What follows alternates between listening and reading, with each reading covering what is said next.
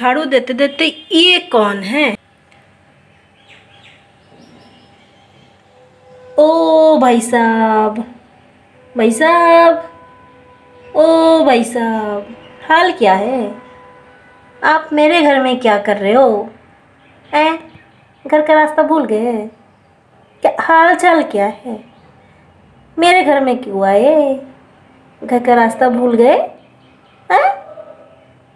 क्या करें आपके साथ, बताइए। मेरे घर में कई को मार दिया जाए कि छोड़ दिया जाए, हैं? बताओ। चलो अभी आपको आपके घर में छोड़ दिया जाए। चलो। आपको मैं इसमें ले लेती हूँ।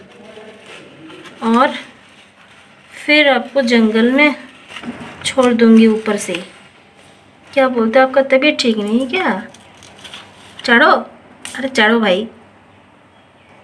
चढ़ो चढ़ो। आपको ऐसे फेंक दूँगी तो आप मर जाओगे, नीचे फेंक दूँगी तो। सब खुला है ना, इधर से निकल जाएगा। ठीक है। ऐसे फेंक दूँगी ना, वो मर जाएगा, नहीं तो। कोई नहीं, वो घास में भी रह जाएगा। अच्छा उसको चोट नहीं लगी। हाँ घास है ना, सॉफ्ट है तो वो स्पॉन्जी स्पॉन्जी उसको चोट नहीं लगी। अगर नीचे वो कंक्रीट में पड़ता ना, टप करके उसका आवाज़ आता, उसका नारी बुरी निकल good evening friends and welcome back to my channel hope करती हूँ सारे मेरे फ्रेंड्स अपने अपना लाइफ में मस्त हो और सेफ़ हो। एक्चुअली आज सुबह में से मैं ब्लॉग नहीं बना पाई थी, थोड़ा बिज़ी थी मिहिर के साथ। बहुत सारे होमवर्क्स उसके थे तो हेल्प चाहिए थी उसको तो करना था, इसलिए मैं सुबह ब्लॉग नहीं बना पाई आज। फ्रेंड्स बात यह है कि क्या दिन आ गया ना बच्चों के अभी? बेचारे घर में बैठे बैठे इतने सारे होमवर्क्स क्लास वर्क्स सब करने पड़ते हैं। और इतना खुशी भी नहीं मिलती। जैसे क्लासेस में एक बच्चे का दूसरा बच्चा देख के करते रहते हैं कंपटीशन फील होता है इनको। अभी घर में बैठे बैठे उनको कुछ एम ही नहीं लग रहा है। इनको कुछ लग ही नहीं रहा है कि हमको पढ़ना है, कुछ करना है। किसी का देख के किसी को मन करता है ना कि हाँ हमको उससे अच्छा करना है, हमको उससे बेटर करना है। पर घर में रह के इनको वो हम पीछे से पुश करते बोल के करते। नहीं तो मन उतना मन लगा के ना नहीं कर रहे। पहले जैसे करते थे, वैसे नहीं कर रहे। मतलब तो करना पड़ रहा है पुश कर रहे हैं, हम लोग पीछे पड़ रहे हैं, तब जाके कर रहे अदरवाइज़ वो मन नहीं है पहले जैसा। दोस्तों के साथ जो होता है। देख ही सकते हो कि बाहर इवनिंग हो चुकी है और इवनिंग मतलब अलग टाइप का काम। थोड़ी थोड़ी घर की सफ़ाई, थोड़ा सा साफ़ सुथरा पूजा अपन, मैंने हर टाइम का ना एक अपना अपना काम रहता है। ब्रेक भी है, ऐसा नहीं है कि होल डे काम करना है, नहीं ब्रेक भी है। थोड़ा ब्रेक थोड़ी काम इवनिंग हो गई, दिया जलाओगे, फिर बच्चे को हस्बैंड को स्नैक्स दोगे, फिर थोड़ा सा ब्रेक ब्रेक में से वो ब्रेक नहीं एंगेजमेंट है। फिर जाके फिर, मैंने ऐसा करते करते एक दिन एक ढल जाता है, रात ढल जाती है, फिर सुबह। नहीं दिन अभी, पर कुछ भी हो जाए, मेरे हिसाब से खुश रहना वो ज़रूरी है। बाकी तो चलता रहता है लाइफ में। चलो, फिर मैं चलती हूँ धीरे धीरे कदम करके। क्या और मिहिर सो रहा है? उसको सोने दिया था घंटा सोएगा तो पड़ेगा, नहीं सोएगा तो उससे पढ़ाई नहीं होती है रात को। तभी मैं उसको सोने के लिए देके आ गई थी।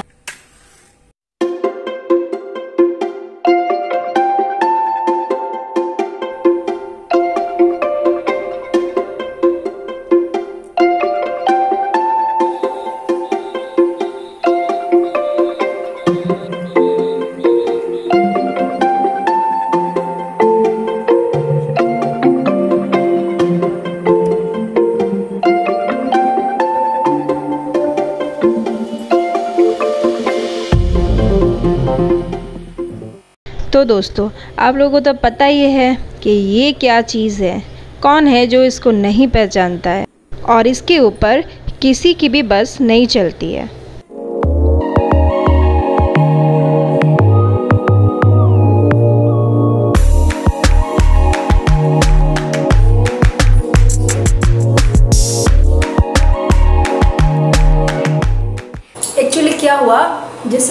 मैं दूध लाने जाती हूँ ना, उसी रास्ते में ये इसका शॉप है। और डेली जब मैं इसको देख के जाती हूँ तो अपने मन को मार के जाती हूँ कंट्रोल कर करके जाती हूँ। पर आज मैं कंट्रोल का बाँध तोड़ दी, आज बोली नहीं, आज मैं लाऊँगी ज़रूर और ले आई। तो यही है आज की कहानी। सो गुड इवनिंग फ्रेंड्स अभी मैं बैठी हूँ लेके मेरा कल का शॉपिंग कल जो जो मैं शॉपिंग की थी ना, उनका अभी क्वारंटाइन खत्म हो चुका है। और मैं बहुत बेसब्री से भी इंतज़ार कर रही हूँ उनको फिर देखने के लिए। शॉपिंग करने के बाद क्या रुका जा सकता है? मन को आप रोक के रख सकते हो कि बाद में देखेंगे? नहीं, पर मेरे से नहीं होता है। तो चलो, देखते क्या क्या शॉपिंग की थी मैं कल। तो फ़र्स्ट मेरे के लिए कुछ शॉर्ट्स ली थी। ये मॉल में ना अच्छा अच्छा मिल रहा था तो मुझे अच्छा लगा। तो ये एक मेहर के लिए शर्ट्स है। ये भी ये और एक। ये ये एक्चुअली क्या होता है ना जो बढ़ते बच्चे होते हैं उनका जो कपड़ा थोड़ा सा फ्लेक्सिबल हो कुछ भी कपड़ा ना थोड़ा उसका इलास्टिक अच्छा हो क्योंकि वो बच्चे ना खेलते रहते हैं। कलर तो मुझे बहुत अच्छा लगा था उसके लिए। तो ये और एक और एक ये शॉर्ट्स मेरे लिए मुझे इसका कलर एक्चुअली बहुत अच्छा लगा था। ये एक्चुअली कलर इसका ना जो ऐसे स्ट्रिप्स है ना ये दिख नहीं रहा होगा ये, ये लाइट ब्लू कलर में है। और बहुत अच्छा लग रहा था उसका कपड़ा अच्छा लग रहा था कुछ अच्छा लग रहा था इसका तो एक शर्ट मेरे लिए। फिर मैं एक दुकान में गई थी जहाँ पे ना जो थान के कपड़े होते हैं ना जो मीटर में बिकता है वो सारे उन, उनका शॉप था। पर मस्त मस्त। एक्चुअली मैं मुझे पता नहीं था उसका एड्रेस पर मेरी फ्रेंड है, वो वहाँ से खरीदती थी। उसने मुझे बोला था, यार, तू जाना वहाँ पे खरीदना अच्छे मिलता है। तो भाई, क्या मस्त मस्त मिले थे। ऐसे मुझे पास में नहीं मिल रहा था, पर वहाँ पे सच्ची, अच्छे अच्छे थे। इतने सर मैं नेक्स्ट जाऊँगी तो और लाऊँगी, सोच के रखा भाई, एक बार में मैं ला के इतना फ़ायदा नहीं, पुराने वाले मैं स्टिच कर पाई। अभी नए वाले कब करूँगी? तो टेन थाउज़ेंड तो कुछ लेके आई हूँ। ये ये, इसका ना मुझे बहुत अच्छा लगा। ये जो गोल्डन कलर का काम किया हुआ है और इस, ये ब्लैक भी नहीं ग्रे कलर का काम है इसमें। पूरा? और कॉटन है। ये ये मुझे बोला, ये ये कपड़ा जो है ना, ये बांग्लादेश का कपड़ा है। और इसको टैबलेट के कैप्सूल बोला था। कैप्सूल उसको कैप्सूल कपड़ा बोलते हैं। वो बोल रहा था लड़का। तो ये वाला मुझे बड़ा ही अच्छा लगा। ये एक हो गया। फिर और एक ये। ये वो मुझे बोला था, इसको बोलते हैं संबलपुरी प्रिंट तो ये मुझे बहुत अच्छा लगा था। हाँ ऐसे बनेगा। ये सब ना कॉटन है। तो ये गर्मी में पहनने में ना बहुत ही अच्छा है।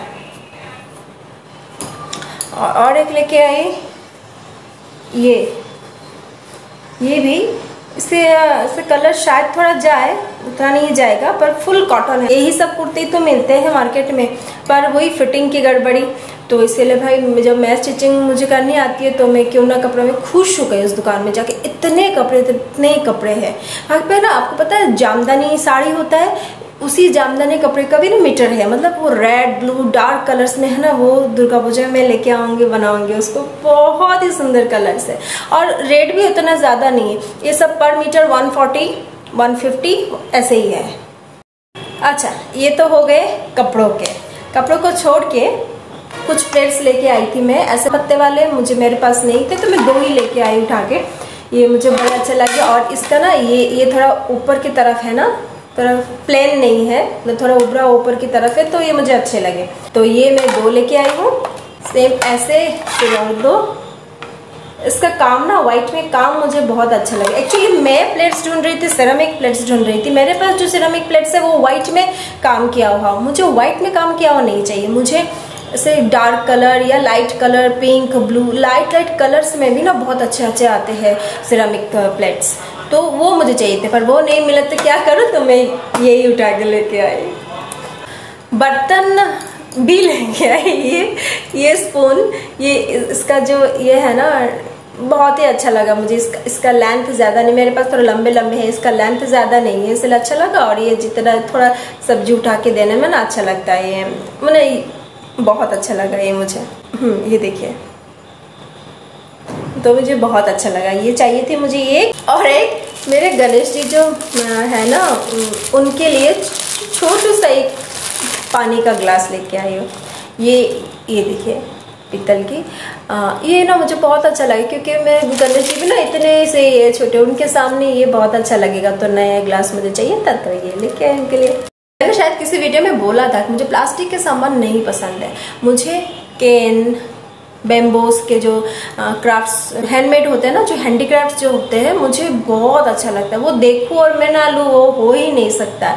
मैं चाहूँ तो मेरे घर में टोकरी और ऐसे केन और बेम्बो की चीज़ों से भर दूँ। मुझे दूसरा कोई चीज़ पसंद ही नहीं है। तो मुझे मिल गया था, ये देखिए क्या है।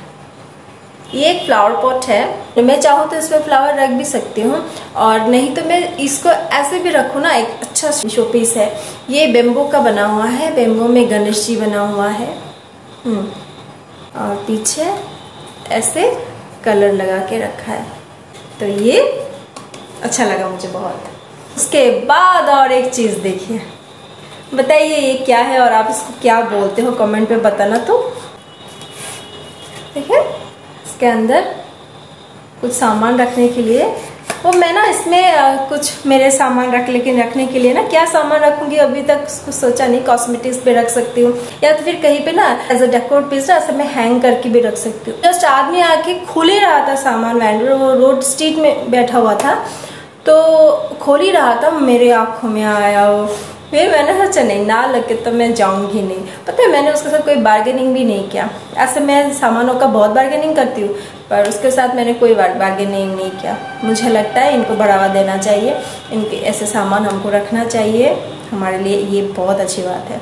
तो इसलिए मैं कोई बार्गेनिंग नहीं की इनके साथ। जो उन्होंने प्राइस बोला, मैंने ज़्यादा प्राइस भी नहीं बोला। ये सिक्सटी रुपीज़ का है और वो भी सिक्सटी रुपीज़ का। तो मुझे अच्छा लगा तो मैं ले, लेके आई। ये सारे परचेजिंग में ये मेरा बेस्ट है। तो इतना ही था शॉपिंग मेरा। बात ये कि इतने दिनों के बाद इतनी सी शॉपिंग भी ना मन को पूरा शांत कर देता है। बहुत दिनों के लिए अभी मैं चुप होके बैठ बैठूँगी। और मैं चिंता नहीं करूँगी कि अभी मुझे शॉपिंग में जाना है। अभी का सिचुएशन तो कुछ अलग ही है, ये तो बात पता ही है सबको। ये तो इतना ही था शॉपिंग मेरा। मैं सोच रही थी कब कब उसको निकालू और देखूँ। तो हो गया देखना। मैं आज और ब्लॉग इसको लंबा नहीं करूँगी तो मैं अपना ब्लॉग आज यही पे एंड करूँगी तो स्नेहा के ब्लॉग्स के साथ हमेशा खुश रहिए और मस्त रहिए और मेरे चैनल को please please please like subscribe करना भूलना नहीं Could you give me a sign or maybe